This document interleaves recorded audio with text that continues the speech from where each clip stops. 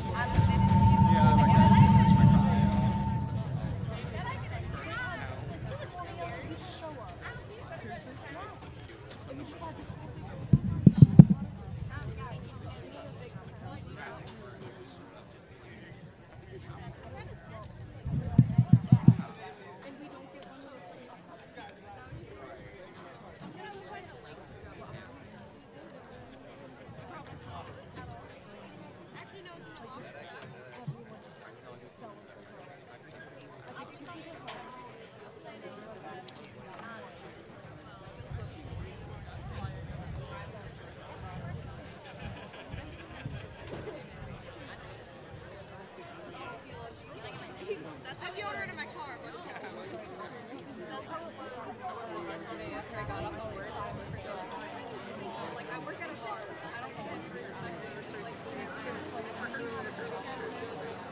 I went fishing with mine all day yesterday.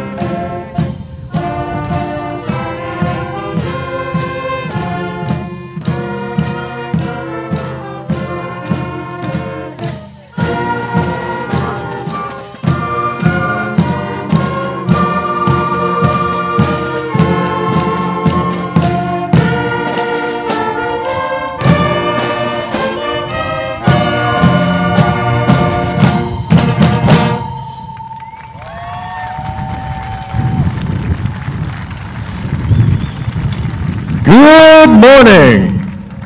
At this time, to honor America, we ask those who are able to please rise as John Montella sings our national anthem.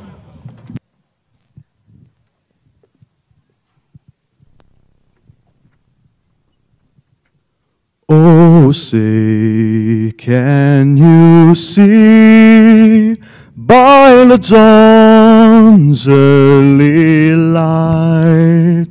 what so proudly we held at the twilight's last gleaming?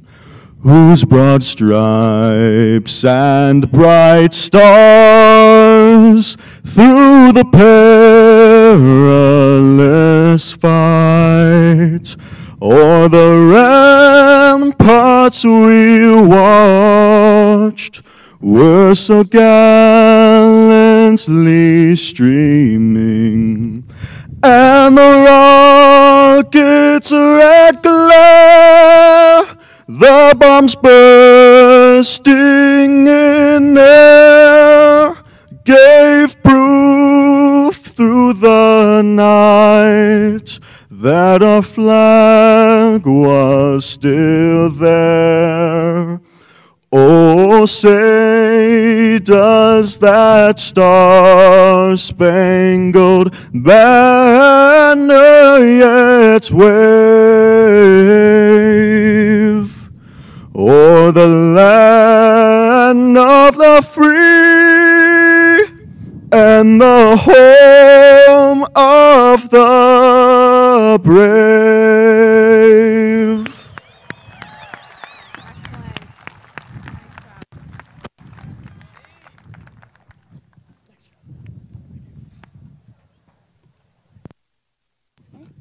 You may be seated.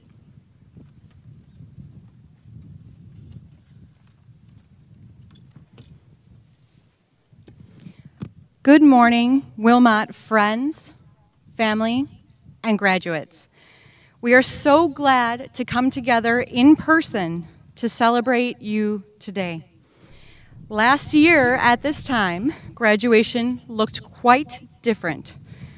Our Wilmot family has grown stronger over this past year, overcoming challenge after challenge while facing this pandemic. We had our routines changed and our patience tested, but we per persisted and persevered. Our Panther community rallied together, and I thank each one of you for your role in that. Family and friends, although today is about your graduates, please know that it is also a recognition of you. As your child's name is called and they walk across the stage, please know that the recognition is yours as well. You are sending them off to their next adventures as strong, knowledgeable, independent individuals, knowing that everything you've done has prepared them to be successful to take on this challenge. Students, excuse me, graduates.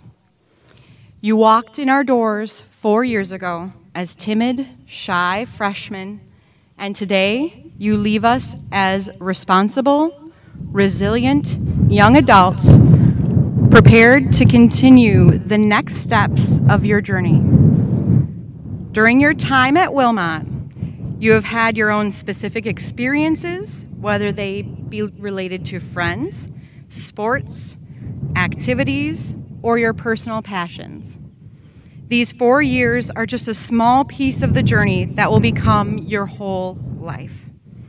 You have worked through 13 years of lessons, homework, tests, studying, virtual learning, and a pandemic to earn the right to graduate today.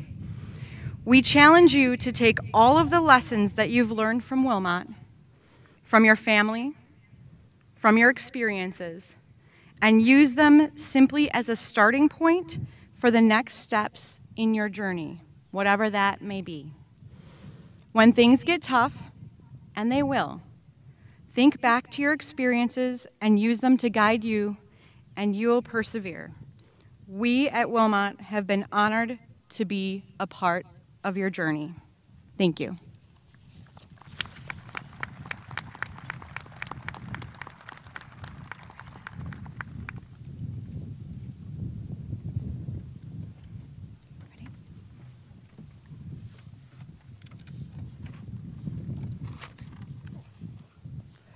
Friends, peers, family, and Wilmot staff, I would like to start off by thanking each of you for being here. While this year has been filled with uncertainty, I am glad to be standing in person with all of you today. We are celebrating a lot of different people today, but something we all have in common is that we are all moving on next year, whether this summer or this fall, into adulthood. Some of us are going to college, some are going into the trades or the military, others are going directly into the workforce, and still others don't really know yet. Regardless of the path that you are currently on, the moment we exit this field with our diplomas today, it is the expectation that we go out and make our own way in the world.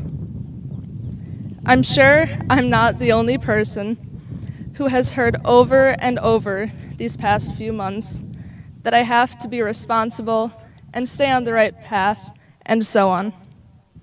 These days, it seems like every single person has a piece of advice about college.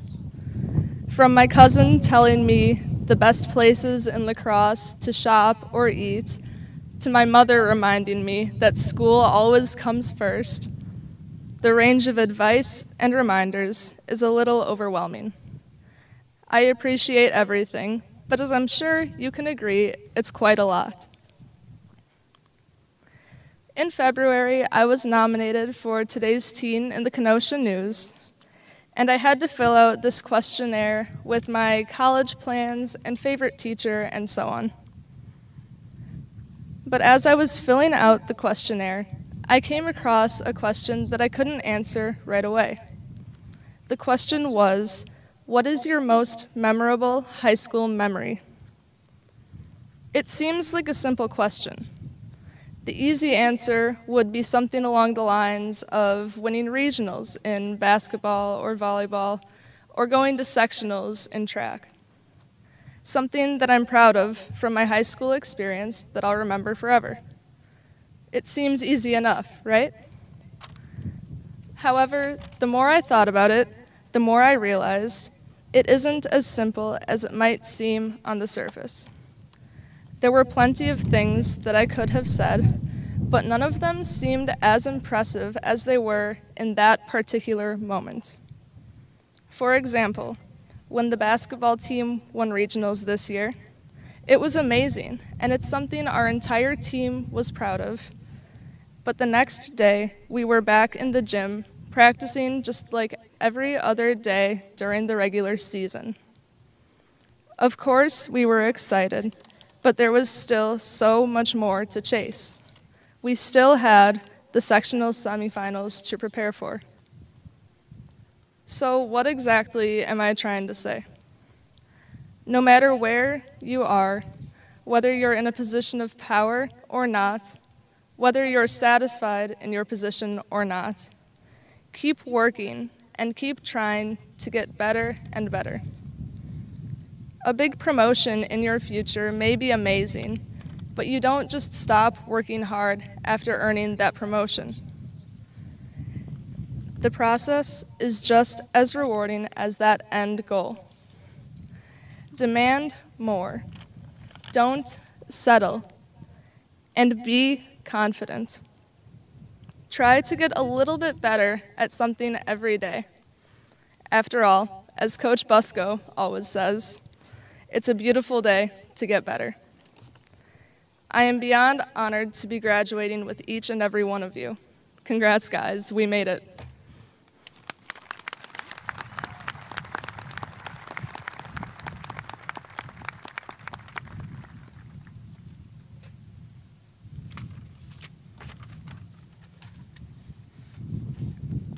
Good morning. My name is Anna Carroll, and I would like to thank all of our guests for being with us graduates today. Sitting before you is a group of students I've shared Wilmot's hall